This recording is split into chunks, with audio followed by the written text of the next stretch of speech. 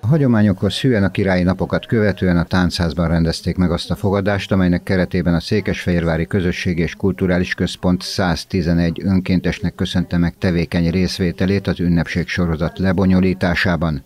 Juhász Zsófia a Kulturális Központ és Majoros Andor a Folk Fesztivál igazgatója köszöntőjét követően Cserpakovics András polgármester is köszönetét fejezte ki a segítségért, amely nélkül nem jöhetett volna létre ilyen szinten az idei ünnepség sorozat. Szép hagyományunk már a Királyi Napok rendezvény sorozat, de legalább ennyire szép hagyomány, hogy utána az önkénteseknek megköszönjük azt a segítséget, támogatást, ami nélkül egykor a rendezvényeket nem lehetne lebonyolítani. Így teszünk most ugyanígy a nyár és az ősz fordulóján, pár nappal a királyi napokat követően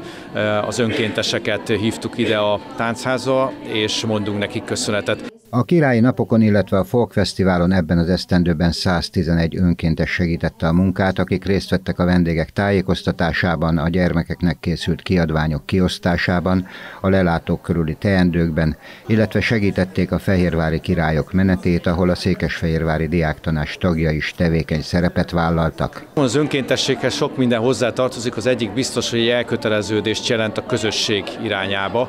és a közösségnek bizonyos szempontból talán ez a másfél hét a legfontosabb összetartozást kimutató